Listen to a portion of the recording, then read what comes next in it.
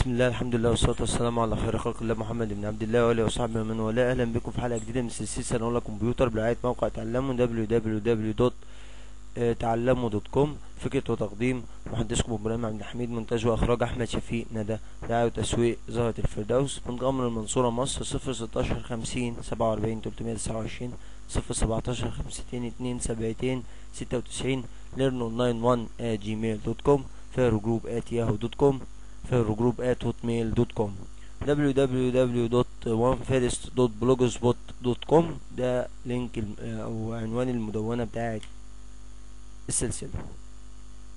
آه، هنبدأ النهاردة في الجزء الأول أو آه، الحلقة المتعلقة بتاعت ال PowerPoint اللي إحنا هنشرحها النهاردة. إن شاء الله هنقسمها جزئين عشان الحلقة بتاع ال Word لأنها طلعت كبيرة قوي. فبعد كده الحلقة هنقسمها جزء أول وجزء تاني. إن شاء الله الموضوع ده يكون أيسر في في التحميل وفي الرفع بحيث إن يسهل على الناس رفعها وتحميلها وتبادلها وكده. يبقى الجزء الأول من حلقة ال PowerPoint أول حاجة تعريف برنامج PowerPoint برنامج PowerPoint هو برنامج آه، مكتبي من مجموعة آه، مايكروسوفت المكتبية. الغرض منه عمل آه، العروض التقديمية. إيه هي العروض التقديمية؟ لما بتحب توضح أي حاجة لمجموعة للناس. مش شرط تدي محاضرة. طبعا بيست- بي- بيستخدم في المحاضرات على طول لأن هو بيعمل آه، animation كويس وبيعمل آه، وبيعرض الكلام وبيرتبه وبينظمه وبيخلي شكله آه، أجمل. فبيسهل على المحاضر قوي موضوع إن هو يعمل محاضرة. فهو أداة معاونة من أدوات آه، توضيح آه، الح- الحاجة اللي أنت عايز تعبر عنها. خاصة لو كنت بتعلم مجموعة من الناس أو بتوضح لمجموعة من الناس حاجة. فممكن يستخدم في إن آه، واحد بيفتتح مشروع فمثلا اللي فاتحين المشروع بيفهموه هو إيه اللي موجود في المشروع والإحصائيات وإحنا عملنا إيه وجبنا إيه وودينا إيه كده. كمان ممكن يستخدم في المحاضرات. آه كمان ممكن يستخدم في آه آه إنك تعمل شروحات على الإنترنت زي شروحاتنا ديت وزي ما آه إحنا عاملين. فهو له استخدامات كتير الحقيقة يعني وبرنامج سري جدا. كذلك ممكن تحط عليه كتاب لأن القراية عليه أسهل وخطه أكبر من الكتب وكده. كذلك ممكن يستخدم كأنيميشن كحركه يعني يبقى عامل حاجات زي الفلاشات كده صور. ورسوم متحركه مع ده مش. مش هدفه الأساسي يعني بس هو يعمله. ده كده اتعرفنا على البرنامج. أمثلة على البرنامج بقى. لو دخلنا هنا عروض تقديمية التنميه البشرية هنلاقي مثلا التخطيط. لو دخلنا على التخطيط ده نلاقي عرض تقديمي ممتاز. المهندس عبد الله عيد العتيبي مهارة التخطيط. آه، دلوقتي أنا فاتح ال PowerPoint كده. ال PowerPoint بالامتداد ده هو بالشكل ده هو اسمه PPT اللي هو الأحمر ده. اسمه PPT إنما ده اسمه PPS. إيه الفرق ما بينهم؟ ده لما هضغط عليه هيدخلني في ال PowerPoint على طول هيبدأ العرض. إنما ده لما آه، هضغط عليه هيدخلني كده. يعني ده مش شكل ال PowerPoint شكل ال PowerPoint المباشر هو الشكل ده. إنك تضغط يملى لك الشاشة. لما يملى لك شاشة يبقى ده إيه؟ PPS. يبقى ده ال PPS اللي هو الأزرق إنما الأحمر اللي هو ال PPT. هو هنا إيه؟ مش مالي الشاشة لأنه PPT. طب إيه الفرق ما بين الاثنين ال PPS ما تقدرش تعدل فيه غير لو حولته. يعني أنت ممكن تا- تاخد ال PPS ده تحوله ل PPT. بعد ما تحول ال PPT تقدر تعدل فيه. إنما هو كده ما تقدرش تعدل فيه. تتفرج عليه بس. يعني ال PPS ده معمول عشان بعد ما تخلص المحاضرة خالص أو تخلص الحاجة اللي أنت بتعملها خالص. تعملها PPS عشان مثلا دك- أستاذ جامعة بيشرح للطلبة بعد ما بيخلصها PPT خالص ويضمن إن هو مش هيجري في أي تعديل يقوم عاملها PPS بحيث ياخدها ويعرضها على طول. ما كانش بيفتح ال PPT وبعدين بيعرض من من من جواه. طب إزاي بنعرض من جوه ال PPT؟ بقوم جاي من هنا. العلامة دي ضغط عليها أو ضاغط على كنت على شيفت واف 5 شيفت واف 5 عشان أبدأ العرض من شريحه اللي أنا واقف فيها هنستعرض الموضوع ده كمان شوية ما نستعجلش. فنضغط.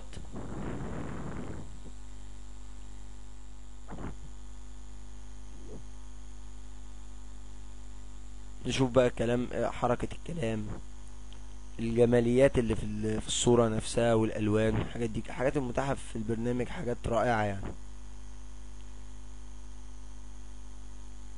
الحركة دي لو تم استغلالها استغلال كويس زي ما هي مستغلة هنا بي بيساعد قوي على الفهم يعني بتوضح الصورة قوي خاصة لو كان في رسوم أو كده بتساعد جدا على الفهم.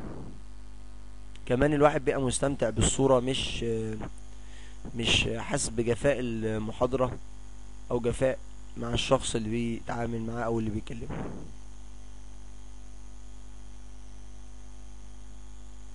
كل ال- الحركة يعني أي حاجة فيها حركة اسمها animation فال animation اللي مستخدم في البرنامج ده كتير جدا يعني كل كلمة أو كل حاجة هو بيستخدم فيها animation طبعا بيستخدم الصور.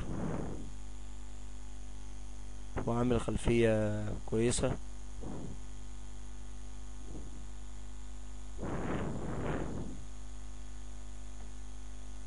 إيه، زي ما شفنا كده لو لاحظت هتلاقي إن هو إيه بعد ما بيتكلم في نقطة بيعلم قدامها صح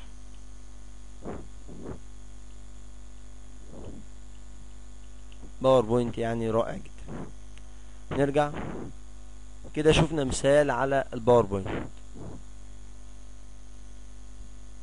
نخش في البرنامج نفسه نفتحه من قائمة start all programs Microsoft Office Microsoft Office PowerPoint 2003 أدي عندي البرنامج هقفل ال- task pane ديت. أدي عندي البرنامج أول ما بيفتح لي بيفتح لي صفحة بيضاء بالشكل ده. فيها هنا click to add title و click to add subtitle title يعني عنوان رئيسي subtitle يعني عنوان الفرعي يعني إن أنا أي PowerPoint أو أي عرض تقديمي يعني ممكن يكون له عنوانين ممكن يكون له عنوان واحد عادي. بس العنوان الرئيسي ده بيبقى عنوان جمالي بيبقى بيختزل المعنى أو بيختصر المعنى في كلمة واحدة. إنما العنوان ال subtitle ده بيبقى عنوان توضيحي شوية. آه، فممكن يبقى له عنوانين ممكن تكتب فيهم عنوان واحد آه، لو أنت عاوز. آه، طبعا زيه زي ال Word آه، تماما آه، في ال title bar فوق أو زيه زي برامج كتير يعني مش زي ال Word بس ال title ba- bar فوق وبعدين ال menu bar وبعدين هنا الاتنين داخلين في بعض ال standard button bar وال أو ال standard bar الشريط القياسي وال formatting bar toolbar. فأظهرهم إزاي من هنا؟ أقول له show show in show buttons in two rows. فكده ظهر الاتنين الاتنين جنب تحت بعض بحيث إن يسهل عليا التقاط أدواتهم بدل ما هي كانت متجمعة كلها في جنب. بعد كده عندي الجزء الأيمن ده في ال slides بتاعتي مصغرة يعني موجود فيها شكل ليها آه، وهي في حجمها الصغير. لو أنا كتبت حاجة هنا هتظهر هنا بس في حجمها إيه؟ الصغير.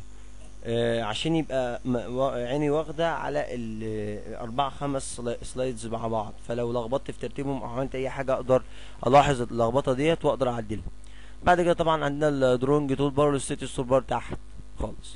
كويس؟ في هنا في مكان هنا لل comments أو ال notes لو أنا عايز أضيف بالنسبة لل slide ديت مجموعة تعليقات مثلا أنا عامله ناقص. فبقول لنفسي ما تنساش إنك تضيف الحاجات الناقصة في ال slide ديت أو في الشريحة دي. إحنا قلنا طبعا إن ال- ال Word بيكون من pages ال Word بيكون من مجموعة صفحات. ال Excel بيكون من مجموعة شيتات sheets يعني ال Word صفحة عادية زي بتاعة الكتاب. ال Excel صفحة عادية بس إيه؟ عبارة عن جداول. جداول إلكترونية ذكيه ال PowerPoint بيكون من slides يبقى كل واحدة من دولت كل واحدة اسمها slide لو أنا عايز أجيب slide جديدة بقول له new slide يبقى أنا كده جبت new slide من هنا. جبت هنا new slide جاب لي الوضعية دي. طب ال layout بتاع ال slide دي مش عاجبني. ال layout بتاع ال slide ده مش عاجبني اللي قدامي ده. فأعمل إيه؟ أختار layout من هنا. هو إيه ال layout تقسيمة الصفحة. يعني هي الصفحة هنا فوق عنوان وتحت كلام. طب أنا مش عايز كده. عايز مثلا التقسيمة بتاع الصفحة تبقى هنا زي دي. يبقى فوق عنوان وعلى اليمين كلام وعلى الشمال كلام. مثلا هعمل مقارنة. فأقول مقارنة بين كذا وكذا. فأقول ده هنا كذا وده ده كذا. ماشي. طب ممكن أعمل هنا أعمل بالشكل ده. اللي هو هنا. عايز أضيف آه، حاجة معينة من الحاجات دي وهنا عايز أضيف حاجة تانية وهنا عايز أضيف حاجة تالتة. إيه الحاجات دي؟ ممكن أكون عايز أضيف جدول أو ممكن أكون عايز أضيف chart اللي هو مخطط بياني. أو ممكن أكون عايز أضيف clip art أو ممكن أكون عايز أضيف picture أو ممكن أكون عايز أضيف diagram أو ممكن أكون عايز أضيف فيديو أو media clip يعني. كويس؟ يبقى في تخطيطات كتير قوي. قدامي بختار المناسب بالنسبة لي. ممكن احب أحب ده أكون عايز أضيف هنا تخطيط وأكون عايز أعلق عليه هنا أو chart يعني وأكون عايز أعلق عليه هنا ممكن أكون عايز أحط بس الإيه؟ ال chart بس. الفرق ال diagram ده مخطط يعني مخطط إن أنا مثلا أنا مثلا في المخطط بقول مثلا إن الحاجة الفلانية بتتكون من كذا كذا كذا. يعني مثلا آه، أخوات كان. فبعمل مخطط أقول آه، كذا وكذا وكذا وكذا. شجرة كده شكل شجري أو شكل هرمي أو شكل أي شكل آه، بختاره. ده ده المخطط. إنما التشارت رسم بياني بيوضح لي علاقة ما بين أرقام وعلاقة ما بين أشياء مثلا ميزانيات شركات آه، ظروف مالية أو حاجات زي كده. كويس؟ نبدأ بقى مع أشهر الحاجات اللي موجودة في الموضوع ده ناخدها سريعا سريعا. أشهر الحاجات الموجودة في آه، في ال PowerPoint ناخدها سريعا سريعا. كمراجعة عليها لأن إحنا المفروض عرفناها من ال Word. بس عشان الناس اللي عايزة تتفرج على ال PowerPoint بس ومش عايزة تشوف آه، ال Word آه، يعني تبقى متابعة معانا. إحنا قلنا إن السلسلة من أول حلقات منفصلة متصلة. يعني في أجزاء فيها تلاحم وتداخل وتراكب وفي أجزاء ما فيهاش. في أ- أجزاء عادية. فحضرتك اتفرج ولو آه، ما واضحة أنا ممكن أعيدها تاني أو أقولها ما فيش مشكلة. آه، ولو موجودة في حتة تانية ممكن تتفرج عليها برضو أو زيادة خير خيرين آه، إذا كان الموضوع ما عندكش خلفية عنه هتاخد خلفية برضو. بعد ال new slide الأول أنا لما باجي أعمل PowerPoint بعمل إيه؟ بكتبه الأول على ورقة عشان أعرف أنا أنا هكتب إيه؟ مش هقعد الف على الكمبيوتر. في ناس عندها مهاره التاليف على الكمبيوتر دي عالي فممكن عادي تألف على الكمبيوتر أو تستحضر الكلام من ذهنها بس الأفضل إن أنت تكون كاتب الكلام على ورقة ومنظمه ومرتبه وعامل له مسوداتك وراجع للمراجع بتاعتك وباصص فيها ومراجعه مع الدكتور أو مراجعه مع المسؤول أو مراجعه مع المدير كل الكلام ده. وبعد كده بقوم جاي آه، عامل شوية سلايدات كده يعني إيه ك زي في الهندسة المدنية كده فرشة. يعني حاجة أبتدي منها آه، عشان آه، بعد كده إيه أشتغل على طول. فأقوم عامل خمس ست سبع سلايدات وأختار كل slide هيبقى فيه إيه. بس ده هيبقى فيه رسم بياني وده هيبقى فيه مش عارف إيه. طبعا أنا المفروض معايا مكتوبين على الورق مترتبين. دي حاجة. بعد كده ممكن أختار ال design. هنجيب ال design هنا. هنلاقي فيه ديزاينات كتير قوي. مثلا ده.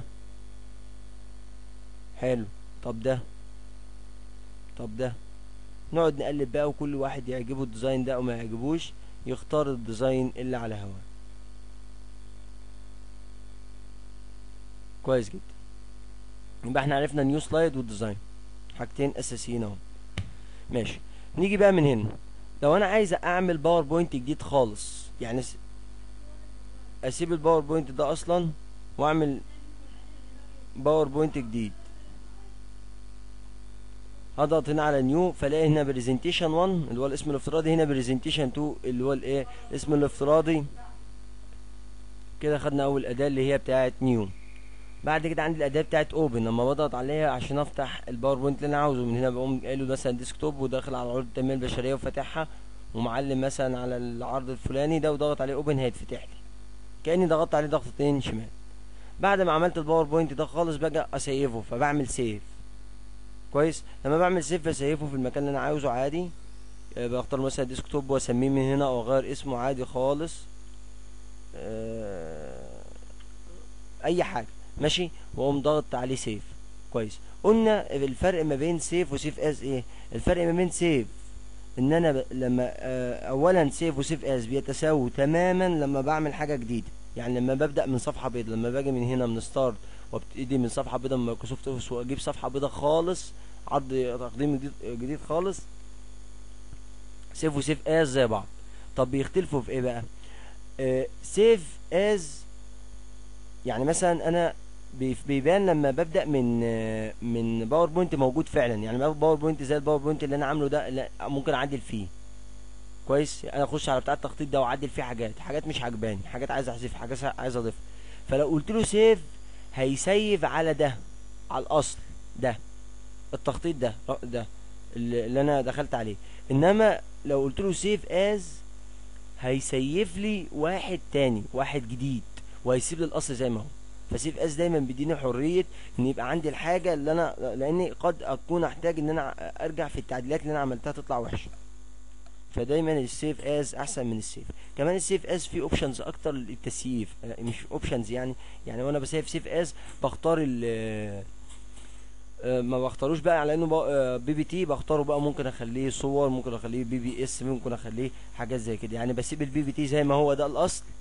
ماشي واعمله مثلا إيه يعني زي ما أنت شايف كده إدارة الوقت ده موجود عندي PPT وموجود عندي PPS هو اللي حصل هو دخل على ال PPT وسيف save as فطلع له إيه؟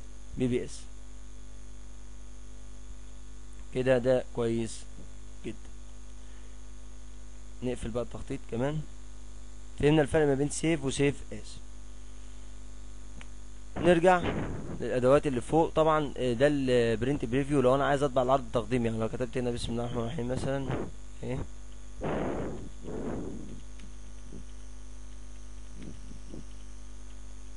وعاوز أطبع فبقول له إيه؟ preview يبقى أنا كده بشوف الشكل اللي هتطبع بيه هتبقى عاملة إزاي ال slide. بعد كده ال ABC ده اللي هو بيعمل لي check على ال spelling بيشوف ال spelling بتاعي كان صح ولا غلط. كويس جدا.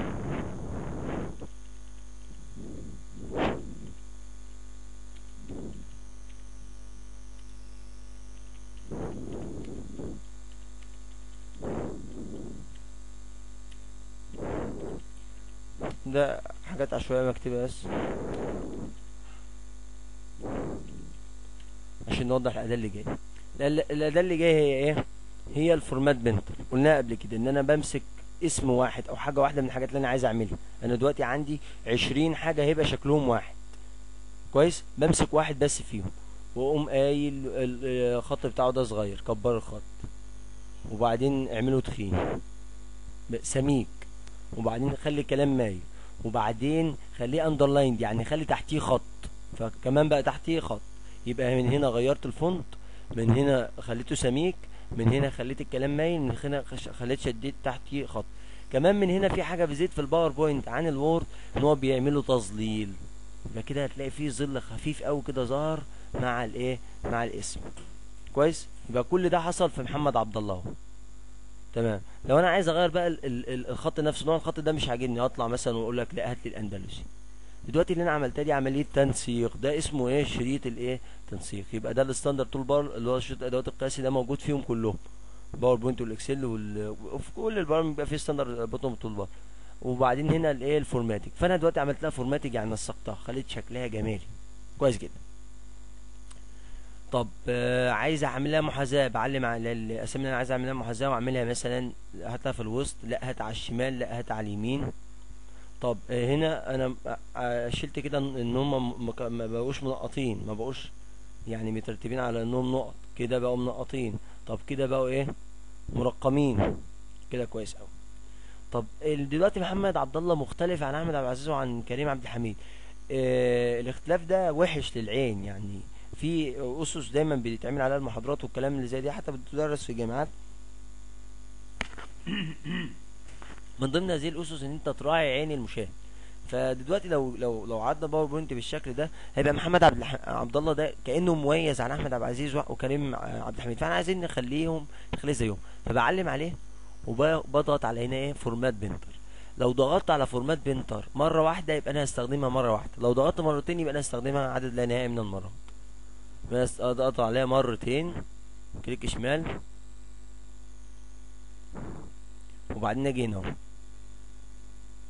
وبعدين أجي هنا أهو. بقى كلهم إيه؟ بقى كلهم بنفس ال font ونفس ال formatting ونفس الخط ونفس اللون نفس كل حاجة. من ناحية الشكل. ال formatting ده متعلق بالشكل. كويس؟ طب حبيت أرجع في كلامي؟ Control Z حبيت أرجع في الكلام اللي أنا لسه راجع فيه حالا. Control Y يعني Control Z ديت أرجع في, الحاجة اللي أنا عملتها أرجع من من من اتنين لواحد. من اتنين لواحد. طب Control Y أرجع بقى من واحد لاتنين. اللي هم فوق ألاقي عندي الأمرين دولت. undo يعني أرجع في كلامي اللي هي Control Z redo اللي جنبها يعني أرجع في الكلام اللي أنا كنت رجعت. في الكلام اللي أنا كنت رجعت فيه. بعدين طبعا هلاقي الأوامر العادية بتاعتي اللي أنا حافظها. لو ضغطت هنا الاقي cut علامة المقص ديت والاقي copy يعني آخد نسخة والاقي paste يعني لو أنا واخد حاجة cut أو copy ممكن أعمل لها paste في أي حتة تانية. يبقى أنا ممكن أخد الك- الكلمة دي cut وأنقلها إيه؟ slide تانية خالص أقول له هنا إيه؟ آه، click يمين paste اهي أو ممكن أجيب paste من فوق. دي حاجة. تاني حاجة آه، آخد كريم ده click يمين copy أو ممكن كان copy من هنا. واجي هنا واقوم ضاغط هنا. طبعا لازم المربع ده يكون ظاهر للمستطيل المستطيل ده. اقوم اعمل له enter اقوم اعمل له Control V اللي هي برضو إيه اللي هي paste يعني Control V هي click يمين paste أو paste من هنا. كويس؟ كويس جدا. بعد كده أجيب شريحة فاضية. أقول له انسيرت تشارت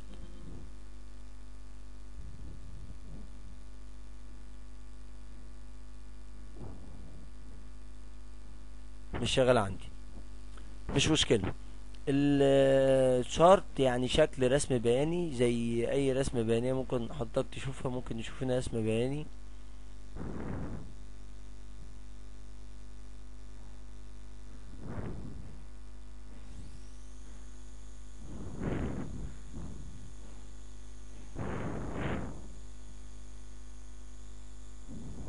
مفيش هنا رسم هنا خالص؟ شكل رسم بيانية عادية جدا. تخطيط أظن كان في رسم بياني طبعا ده اللي تحت ده بيعرض لي عشان أتفرج عليه. ده بيعمل لي إيه؟ تصنيف أو sorter ليه ده ده وضعية التعديل اللي هو ال normal view ده يبقى تلات زراير الأول بيعرضه لي التاني بي- بيحط لي في ال sorter ده عشان أختار منه اللي أنا عاوزه.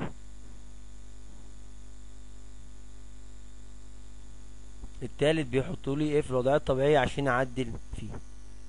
سيبنا من حكاية رسم البيان دلوقتي وهنبقى نشوفها في أي حتة تانية. طبعا عندك بعد كده ممكن أعمل insert table أعمل جدول فبختار بقى عدد الخانات الجدول هتبقى عاملة إزاي وبعدين باجي هنا أهو وأبدأ أكتب في الجدول عادي جدا. مش عاجبني البتاع بتاع الجدول الخط فممكن أغيره من هنا وأغير التخن سمك الخط اللي معمول. و واغير كمان الألوان والتعبئة بتاعت ال بتاعت الكلام اللي موجود جوه وأبدأ أكتب بقى في الخط أقف وأبدأ أكتب حاجة حاجة. لو رجعنا هنا لا في حاجة اسمها كمان في PowerPoint grid فضغطت كده هيظهر لي إيه؟ grid كده. لو ممكن إيه؟ اشيلها طبعا لو الكلام مش واضح قدامي أو لو نظري ضعيف أو لو مش واخد بالي ممكن أكبر كده مية في المية هتكبر لي الدنيا خالص. هنا. ده صغر ده كده عشان إيه؟ عشان الكلام يبان. واقف هنا اكبر مثلا مية في المية. يبقى كبرت دي مية في المية بحيث إن الكلام يبان. طبعا أنا عندي هنا بقى ال color والبتاع. أنا عايزه color يعني ألوان ولا grayscale يعني أبيض وأسود. فأبدأ أظبط في الاعداد بتاع الأبيض وأسود أهي. فهتلاقي الشريحة عندي اتحولت لأبيض وأسود لو صغرنا ده شوية. أنا 75 شوف الشريحة اتحولت لأبيض وأسود والكلام اتحول لأبيض وأسود النقط اتحولت لأبيض وأسود. آه بعد كده عندي في ده بعد كده عندي هنا أهو في pure دا pure black and واي and white لو ضغطنا على pure black and white ده هيخلي لي الشريحة أبيض وأسود بس مفيش رمادي. gray- grayscale ده في اسمه grayscale آه grayscale ده فيه آه الرمادي يعني في درجة معينة ما بين الأبيض والأسود. إنما blue آه pure قصدي. black and white بيخلي آه، الألوان يا إما أبيض يا إما أسود بس فبتبقى يعني جافة شوية. بس عدى كل الحاجات دي. بعد كده لو أنا عايز ألون كلمة بعلم عليها وبعدين بختار اللون اللي عايزه من هنا. عندي مجموعة ألوان هو مختارها لي أهو. ممكن أقول له more colors هيفتح لي الألوان دي واختار من اللون اللي أنا عاوزه. كمان ممكن أروح من custom أنقي اللون بال- بالشكل اللي هنا ده أخش على كده وبعدين انقي درجته من هنا. بعدين أقول له OK يتحول لي اللون اللي أنا عاوزه. عندي كل درجات الألوان بقى ومختلف أشكالها. من colors هنا عندي ال standard ممكن أختار لون جاهز وال custom أعمل لون بنفسي. كمان لو أنا حافظ ال- النسب بتاعت لون معين ال red وال green وال blue بتاعه. طبعا أي لون في الدنيا ال red ات- آه خليط ما بين تلات ألوان دول. فأنا بخت... لو لو عارف بقى بحط هنا مثلا أرقام هنا خمسين وهنا خمسة وعشرين وهنا تلاتين حاجة زي كده.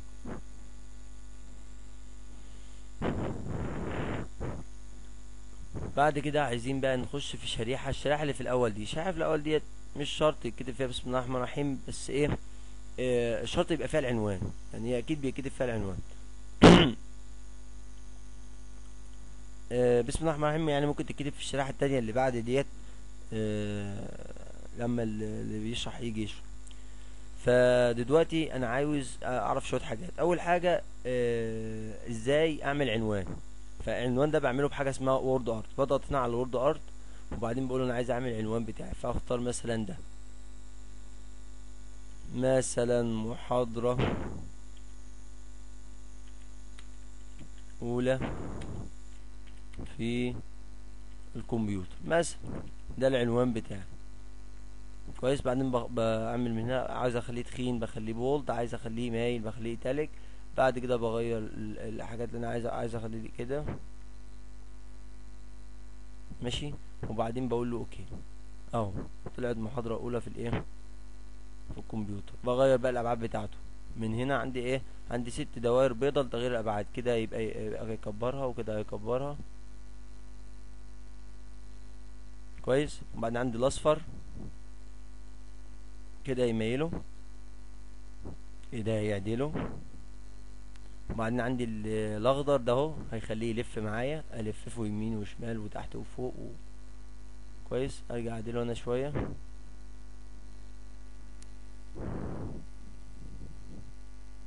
مثلا طب أنا عايز أشوف شكله أضغط بقى على ده. ده مثلا شكله. كويس؟ بقى إحنا عرفنا دلوقتي إزاي نضيف عنوان. بعد كده بختار بقى ال- ال- ال side ال slide قصدي layout بتاعي وابدأ أكمل شرايح شريحة ورا التانية يبقى ده إدراج Word Art ممكن أحتاج إدراج في شريحة من الشرائح مثلا. هنا محتاج إدراج إيه؟ clip art ال clip art اللي قل- قلنا مجموعة صور جاية مع البرنامج. آه، ممكن تسهل عليا شوية حاجات وأنا بشتغل. دي مثلا صورة بيت. فاجيبها مثلا واحطها في جنب كده واكتب هنا الكلام اللي أنا عاوزه. مثلا. يبقى دي كمان خدنا ال clip art أي حاجة عايز أدرجها يعني أي حاجة غريبة أو أي حاجة جديدة عايز أضيفها بجيبها طبعا من قائمة insert فبلاقي في قائمة insert كل حاجة. أدراج new slide يعني عايز أضيف شريحة آه، جديدة. آه، ادراج إدراج آه، slide number يعني عايز أضيف للشرائح ترقيم. يعني هعلم هنا على صح وكده هرقم الشرائح. هيبقى في شريحة واحد شريحة اتنين شريحة تلاتة. هلاقي الشرائح مكتوب فيها تحت. أهي مكتوب فيها واحد اتنين تلاتة. يبقى الشرائح إيه مترقمة؟ يبقى أنا عارف عامل كام شريحة وأنا بتفرج عليهم وأنا عارف أنا واقف في الشريحة الكام. آه كمان من قائمة insert الاقي insert picture ممكن أعمل insert picture insert clip art زي ما إحنا عملنا clip art حالا. من ال clip art أقول له جوه اختار البتاع اللي أنا عاوزه ال clip art اللي أنا عاوزه. أو picture وبعدين from file أجيب صورة من عندي على الجهاز. طبعا الصورة هتطلع كبيرة قوي هتملى لي الشاشة. فانا اعمل إيه؟ أقوم ماسك الصورة كده ومحركها. أهي ومصغر الصورة. أهي. أبدأ أحرك فيها وأصغرها لحد ما تيجي في المكان المناسب بالحجم المناسب زي ما أنا عاوز. لو أنا عايز أحطها مايلة كمان ممكن أحطها مايلة بالزرار الأخضر ده. كويس جدا. بعد كده كمان من انسيرت طبعا المفروض نحفظ بعينينا العلامات دي يعني مثلا دي علامة الدياجرام آه، علامة ال diagram دي لازم نكون عارفها عارفينها عشان ممكن نجيبها من هنا وممكن نجيبها من تحت اهي. هي هي. يعني موجودة فوق وموجودة إيه تحت أو موجودة في في القوائم اللي فوق وموجودة طبعا في ال drawing. بعد كده text box text box يعني بيتيح لي إن أنا أكتب في أي حتة. يعني الحتة دي مثلا لو وقفت عليها وحبيت أكتب مش هعرف. ففرضنا إن أنا عايز أكتب لض- لضرورة ما فعايز أعلم عليها اعلم عليها و- واعمل إيه text box واكتب فيه اللي أنا عاوزه. أي حاجة. كويس؟ ماشي. insert طبعا chart آه insert insert قبلها movies and sounds لو أنا عايز أضيف إيه صوت أو فيديو لل لل Word لل قصدي ال PowerPoint بتاعي.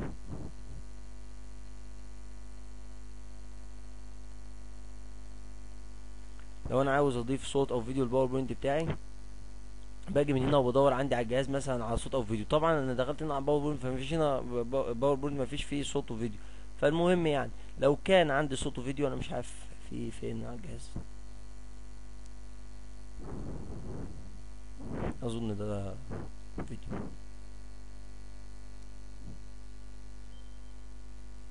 بيقول لي الفيديو ده أخليه آه، يشتغل أوتوماتيك أول ما أنت تشغل ال- الشريحة يشتغل ولا when click دي لا هقول له when click بس هيبقى في مشكلة إن أنا عاوز أصغر إيه أبعاده عشان إيه ينفع يتحط على ال مثلا. طب أنا دلوقتي لو دخلت لو ضغطت عليه كده وعرضت وبعدين جيت كده الفيديو دلوقتي بدأ يشتغل. كويس جدا. طبعا أنا هحذفه وأعلم عليه واحذفه وأعلم على الصورة دي كمان وأحذفها. واعلم عليه وأضغط ديليت كذلك الصوت. لو أنا حابب ال chart قلنا آه، هتعمل ال chart هتعمل مخطط بس لازم أن تكون معلم على شوية الحاجات اللي أنت هتعمل لها إيه؟ هتعمل لها chart. أنا كنت عايز أجيب ال chart من غير معلم. table قلنا هتعمل table ممكن تختار number of columns و number of rows عدد الصفوف وعدد الأعمدة. عدد الصفوف اللي هي الأفقي عدد الأعمدة قصدي اللي هي عدد الأعمدة اللي هي رأسي وعدد الصفوف اللي هي الأفقي. أختار الكلام ده واضغط OK هيبدأ معايا. نيجي برضو تحت نبص على بقية الحاجات. قلنا لو أنا عايز أرسم خط line آه، أو آه، arrow سهم آه، الاشكال اللي أنا عايزها أرسمها أي شكل. هجيب new slide بس و new كمان ست سبع slide ات وأغير ال design شوية. أخلي ال design عادي خالص عشان إيه؟ ماشي. مثلا. المهم فهاجي من تحت هنا ألاقي في حاجة اسمها AutoShapes أشكال جاهزة. ممكن أختار منها الشكل اللي أنا عاوزه. ألف الأشكال دي مثلا وأقول أنا عايز الشكل ده. مثلا أو ممكن من هنا أقول له لا أنا عاوز مثلا ده. يبقى أنا أقدر أرسم الشكل اللي أنا عاوزه وأقدر أغير التعبئة ديت لو ضغطت هنا أغير اللون ده. ممكن أخليه أصفر. ماشي؟ لو ضغطت هنا برضو ممكن أغير السايز الحجم بتاعها. أغير ال- اللون بتاع التظليل بتاعها كده. اللون بتاع ال لاحظت اللون ده بقى أخضر. طب ممكن نبينها أكتر لو عملنا دي كده. كده يعني. كويس؟ بعد كده دي كلها أشكال أنا بقدر أرسمها. قلنا ال WordArt وبعدين قلنا insert diagram قلنا هنكتب مثلا diagram مثلا كذا ومثلا هنقول آه، محمد عبد الله الشخص اللي اسمه محمد عبد الله وبعدين نقول أولاده مثلا. هي أمثلة يعني مش قصاد حاجة. أحمد ومحمود وكريم مثلا. يبقى أنا ع- إيه- إيه- ده تفرع إيه؟ تفرع شجري التفرع ده بقى اسهل عليا الايه الموضوع إن أنا ممكن وأنا بشرح لأي حد أنواع الحاجة الفلانية أو خصائصها أو ظروفها أو أي حاجة أو أشكالها أو طرق حل مسألة ما أقول له من خلال ال diagram ده. بعد كده clip art اهي العلامة بتاع ال clip art لو أنا عايز أجيب clip art. بعد كده picture نفسها اللي هو أجيب صورة من عند على الجهاز. بعد كده لو أنا عايز أعمل filling لل color في أي منطقة بختار ال- ال filling اللي هو آه، مناسب ليا التعبئه اللي هي مناسبة. في حاجة لو ما قلتهاش اللي هي لو أنا عندي صفحة بيضة ديت وعايز أعمل لها خلفية. فاضغط click يمين وبقول له background وبختار من هنا أقول له إيه؟ fill effects فبلاقي عندي effects كتير. ممكن أختار لونين وأختار درجات مختلفة. مثلا ده عاجبني فأقول له OK. وبعدين ممكن يقول لي apply apply يبقى هطبق على الشريحة اللي انت فيها دلوقتي. اللي هي أنا في شريحة كام؟ في شريحة رقم خمسة أهو.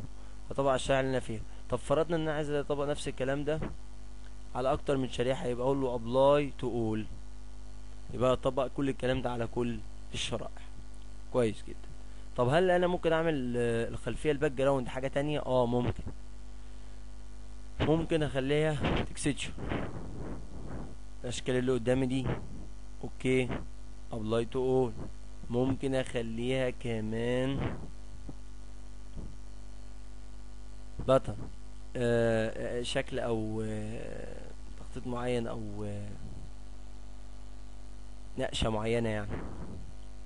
ممكن أخليها صورة. أريح دماغي وأصمم مثلا صورة على ال Photoshop أو أصمم صورة على أي برنامج وأخليها خلفية أو صورة موجودة عندي على الجهاز. تقول له OK يبقى الصورة ده يتحول لخلفية. للموضوع كله طول ما أنا ماشي. بس طبعا أنا راعي إن الصورة يكون فيها مساحة بيضة أو مساحة آه، يفضل يعني إن الصورة يكون فيها جزء أبيض كبير عشان آه، لما أكتب الكلام يكون ده أسهل بالنسبة للعين وللتعرف عليه بالايه بالعين. طبعا قلنا قبل كده وهنقول تاني إن ممكن أي كلمة أو أي شكل أو أي رسمة أعملها إيه hyper link فضغطت عليها click يمين قلت له اعمل لي دي hyperlink وجيت هنا مثلا قلت له آه، www.google.com يبقى كده خليت الكلمة بتاعت أحمد آه، أحمد عبد العزيز دي لما أقف عليها واضغط هيفتح لي كده موقع جوجل. طب لو أنا عايز أفتح حاجة تانية حاجة تانية بقى, بقى مش آه، أهو كده فتح لي موقع جوجل هنا. لو أنا عايز جوجل مش راضي يفتح؟ لو أنا عايز مش افتح الموقع أو أعمل أفتح ملف عندي على الجهاز file عندي على الجهاز. ممكن أعمله hyperlink برضو أضغط عليه كده. hyperlink أختار ال file بقى من هنا. desktop وأخش جوه ال desktop بتاعي و وأشوف الموضوع عامل إزاي واصور وكده. كويس جدا. يبقى إحنا خدنا قلنا ادراج صورة قلنا ادراج مخطط قلنا ادراج hyperlink قلنا تغيير خلفية الشريحة قلنا عمل جدول والتعديل فيه قلنا الصوت والفيديو. فاحنا كده استعرضنا حاجات كتير قوي من الحاجات الكويسة اللي إحنا شفناها آه، في الايه في الجزء الأول من الحلقة. أرجو إن أنتم تكونوا قد استفدتم. والسلام عليكم ورحمة الله وبركاته.